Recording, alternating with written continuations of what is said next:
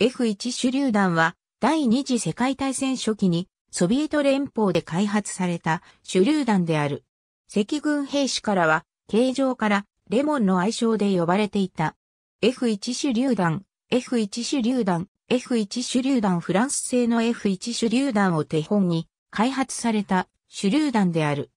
F1 手榴弾の撃発装置がフライオフレバー式点火機構なのに対し、本 F1 手榴弾では新艦のストライカーがミルズ手榴弾のように直線運動を行い撃発を行う。安全ピンは激震の先端を保持し、同時に安全レバーを新艦街灯に接合する。初期型の後部主に後部新艦では安全ピンだけで激震を保持する構造だったが、1942年頃に導入されたウズグ新艦では安全ピンに加えて安全レバーの上端も激震の後端を保持するよう改良されている。安全レバーは薄い金属板で成形されており、携帯用のフックとして用いるほどの強度は与えられていない。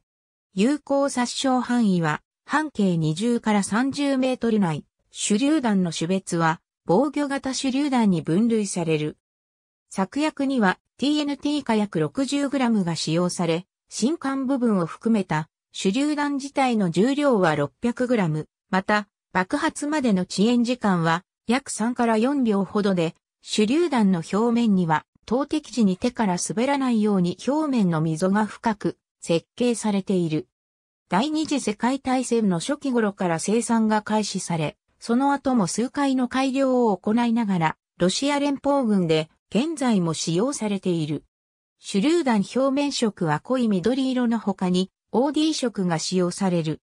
大戦後、F1 手榴弾はワルシャワ条約機構により共産圏諸国に配備及びライセンス生産が行われ、東側諸国の軍隊では代表的な手榴弾となった。